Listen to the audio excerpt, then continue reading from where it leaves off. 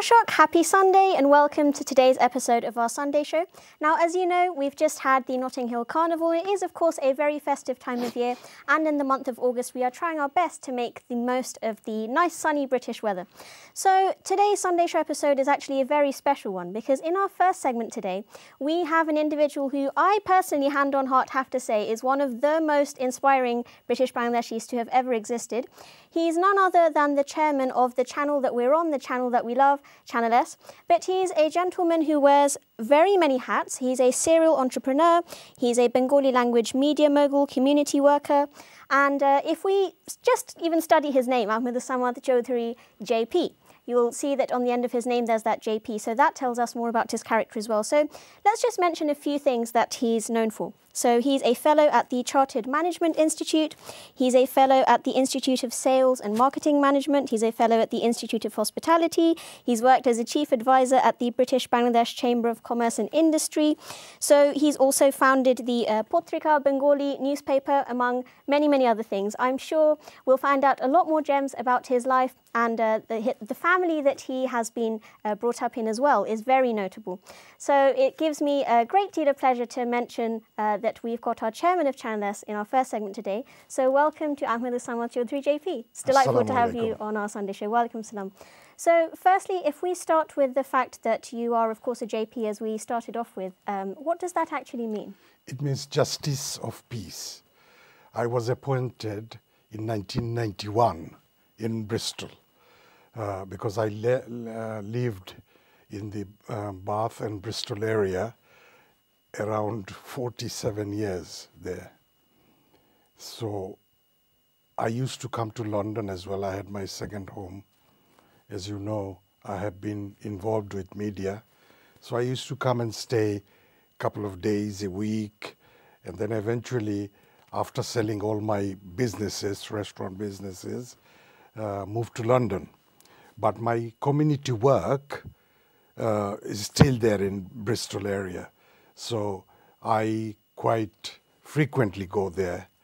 Um, uh, you may probably know that I founded Bangladesh House, Bangladesh Center by, um, you know, with my own collateral obtaining mortgage, and then uh, the Shahjalal Jame Mosque.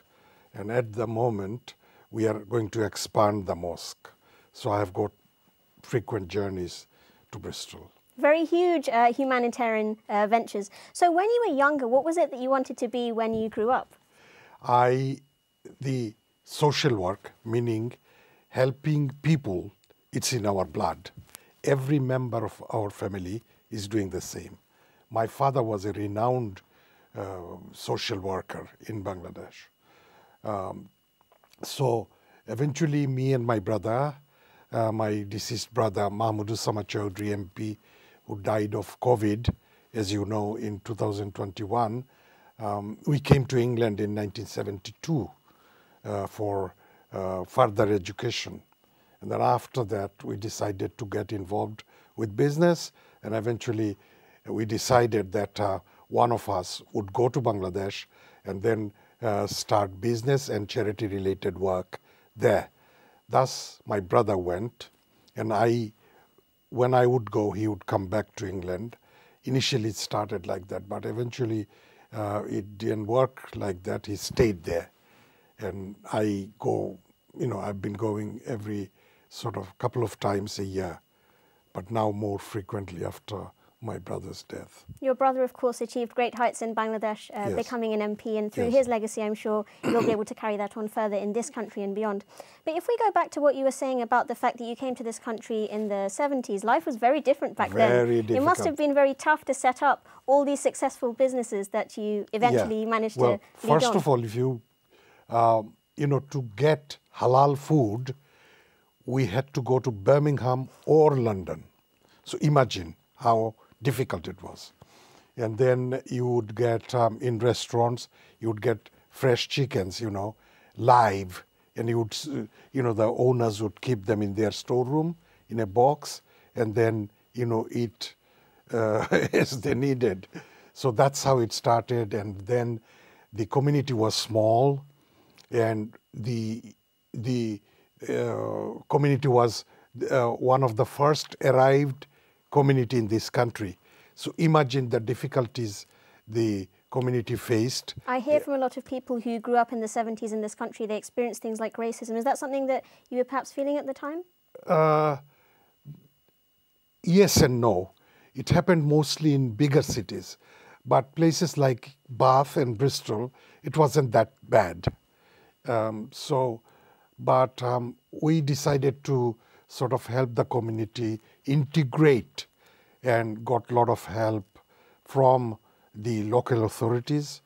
And eventually we decided, as I said, I founded a couple of community center, one for general public, one for women and youth, and eventually the mosque. And um, so that's how we started, we integrated. And so majority of the people were involved with catering trade. But now we are di diversifying in our younger So coming generation. on to that, there are, mm. of course, many things that you have been involved with, whether that be the uh, charity work through mosque initiatives. Um, you've obviously been very much involved with the Bangladesh Centre, but that's a world away from the media. It's one yes. thing to be a very successful yes. businessman. How did you then venture into the okay. media? When I was in Bangladesh, class 8, so imagine I was only a teenager. My dream was to start a newspaper. I didn't know how. And um, eventually, after com coming back to England, and when I was leading the community in Bristol, we started a magazine, uh, magazine type of publication called uh, Dorpon. And then um, eventually uh, I got involved with Desh Barta, one of the first Bengali newspapers in this country. I bought that. But um, uh, the printers were in-house, so it was a newsprint, if you see what I mean. And papers were thicker than normal, and it didn't. It wasn't doing very well. Then I decided to uh, start something different, and um, I uh, started Potrika.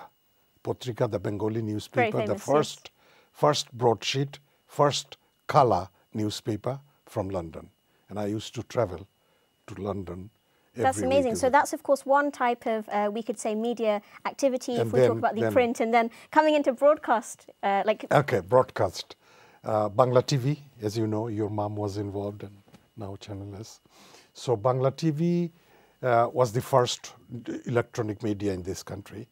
And after a few years, there were problems. There were problems and it, it almost shut down. And then many community members persuaded me to get involved with the TV, and I became a director. And Alhamdulillah, I did what I could, and it survived at that time. But eventually, after about two years, I decided not to continue there. So I came out, I concentrated with my newspapers, businesses, and charity related work until in 2007, I joined Channel S as chairman. Yeah. Channel S has, of course, been a very successful channel yes. and a very popular channel, especially, I must say, among my generation. It's one that we uh, like to follow religiously mm. um, because of the legacy that people like yourself are leaving behind with the work that you're doing, whether that be charitable, whether that be in the media. Your footsteps, of course, a lot of people are looking to follow.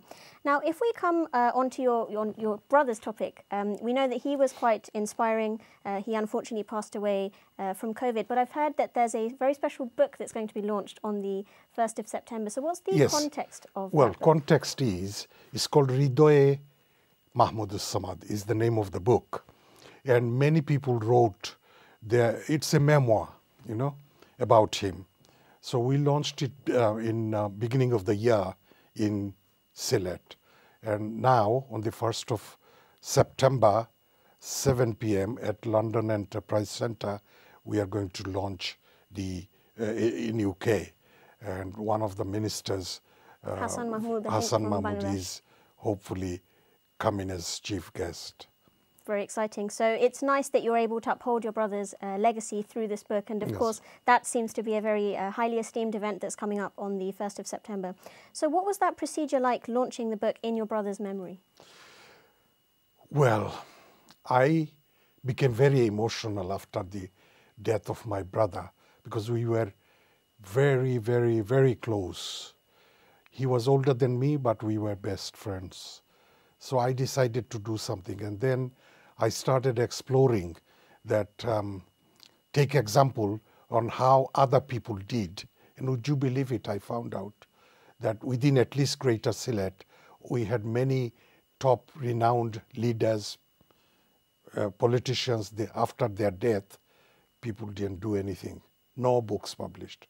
Then I took it as a challenge, and I stayed in Bangladesh for four months and eventually, you know, I approached people personally to write. So eventually, the prime minister, the president, and uh, his friends and colleagues, ministers, wrote uh, about him, and also friends and general community members. So um, it's a good book. It's a good book because my brother was an example in Bangladesh. I know of no um, politicians like him with you know his caliber. He spoke very good English, and um, his knowledge was vast. So, and his vision and mission was development, and that's what he did in the constituency. And your father least. was quite legendary, so uh, right. needless to say, you, of course, are equally legendary yeah. like your brother. So you, of course, are a very, very successful businessman, media personality. We've said uh, some of the things, just scratch the tip of the iceberg with your successes, but I'm sure there are so many young British Bangladeshis mm. who are watching. They might want to get involved with media or business or catering or one of the many things that you've done, like charity. What sort of message would you have for our young viewers who want to get involved I would with say, any of those? I would say that uh, we, the Bangladeshis, believe in one thing that our na native country. So, you know, to promote the country, to make it better, to make it developed. To do that, we need charity related work, you know. So that's the first thing one has to do. Simultaneously, they must be highly educated and also they get involved with the uh, politics in this country they must have determination. There will be a lot of obstacles, but they have to be so determined that nothing could stop them. And I'm very happy to see that our generation, we did things in a different way. And it was so difficult, as you know, it's a newly arrived community and lacking behind in everything. But now you have a base. You have a base we have laid the foundation for the younger generation to go forward. And that's what they're doing. I'm very pleased that every angle, every area you look at, from legal profession to medicine to everything you name it, they're doing very well. And recent A levels and GCSEs are an uh, example you, Definitely, that's a very, very timely statement because in the month of August we received the GCSE and A-level right. results and in our second segment we're going to be highlighting one of those academic successes. But my generation in particular, we are so indebted to your generation for the fact that you've paved the way, and so successfully so, in such difficult circumstances, coming in, whether it be the 70s, 80s, 90s, uh, you, it can't have been easy for you to set up businesses from scratch, then to make them successful, to scale them, to make them internationally successful, all of which you've done in a variety of sectors. Yes. So uh, It took about 70 years, though, because the community is between 70 and 75 years old now. So that's why the foundation is very strong for you people, the young people. So the, part of the uh, foundation was created even before you arrived on the scene, but after you did, it yeah. was taken really to the next level. So uh, would you like to sort of sum up your message uh, for our viewers? Because unfortunately, we are going to have to wrap up on our episode today. Yeah. So what I want to say is, um, I don't know if you knew uh, that I, you know, there are other areas I have been involved. Of course. I'm a freeman of the City of London. And also recently there has been a publication type, you know, that 20 uh, people from Sylhet around the world who took, uh, you know, Bangladesh and Sylhet forward, and I'm one of them. So, uh, you know, um, I feel good, and I think the younger generation should be inspired as well because they can achieve whatever they like, you know, whatever they want to do. So my message is uh, be determined and help others and be educated, disciplined, and work for your uh, roots, I would say. Definitely. The fact that we're British Bangladeshi and the fact that we have such amazing role models is something that we cannot forget. Thank you so much, uh, Ahmed Samad Chowdhury JP, for your precious time today, especially coming on Channel S and seeing you from when I was very small. It's really been an honour to interview you today.